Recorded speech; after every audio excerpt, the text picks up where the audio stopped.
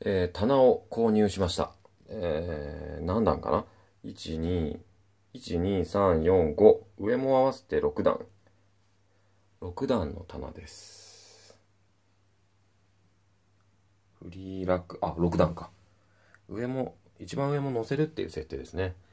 で、これを今から、えーっと、組み立てていこうとは思うんですけど、あの、カメラをセットできるスペースが今、散らかっててないので、えー、でき、完成した後にもう一度撮影します。これ、こっから持ってかないと、箱がかなり黒くて、えー、ちょっと、部屋の中にはこのままあげたくないので、ここで全部ばらして、部屋の中に持っていこうと思います。この黒さは、この汚れはちょっと恐怖ですね。では、ちょっと作っていきます。また後で。えー、とりあえず、組み立て終わりました。こんな感じです。うーん、結構、どれぐらい ?1 時間ぐらいかかりました。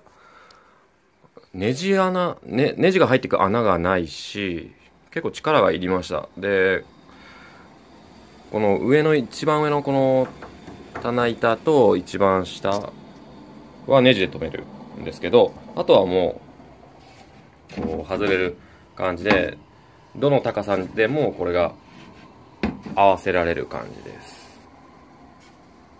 なので、調整が効くので結構いいかなと思います。ただ作ってる時に、この立てた状態で作ってたんです。横で作っていく時、どうもうまくいかなかったので、でもやっぱり立てて、立てて、組み立てていってる時も下で、下の一番下の、この一番下の棚をネジで留めてる時に、下だけこう固定してたら、グラグラなので、上もちょっと棚板を置いて固定してからやろうと思って、とりあえず上の板を置いたままこう、下のネジを止めていったんです。下の板のネジを。だったら、いつの間にか上の板が外れて、頭の上に落ちてきて、いやー結構厳しかったです。あのー、頭は単個ぐらいで済んだんですけど、ちょっとね、板の、この辺り、こっちだったかな。ここがちょっと、実はもうここ、内側が欠けてるんです。ポコッと。頭に当たって、割れちゃったんですよ。なので、ボンドでくっつけました。これ結構作るの大変です。男性だからできたのかも。一人で作るの結構きつかったですけどね。女性はこれ難しいんじゃないかな。と思います。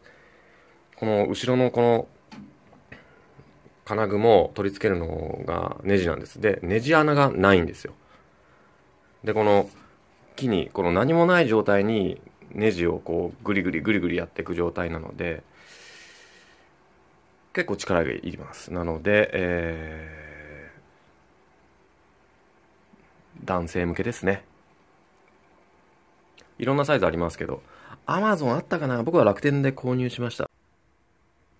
まあ、そういうことで、ちょっと全体像が見えないですね。わかんないな、これちょっと。とこの近くから撮ったら。